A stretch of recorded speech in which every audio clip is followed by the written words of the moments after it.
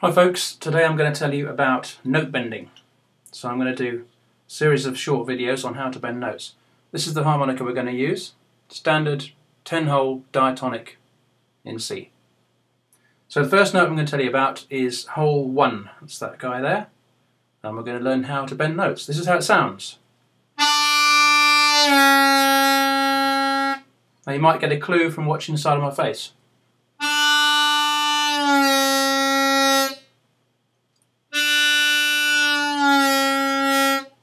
And what I'm saying is e-o, and you can actually see the tongue just moving back in the mouth. E-o.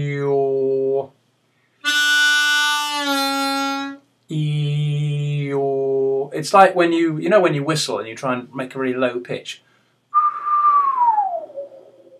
Just try that.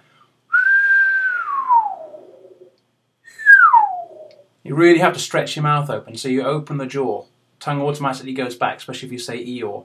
The notes you're playing, D when you breathe in, and it goes down a semitone to D flat, C sharp. So let's try that. Eeyore. Then you could blow to get the C.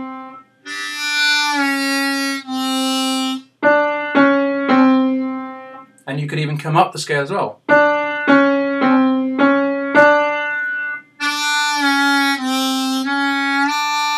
That's the Batman theme tune, isn't it?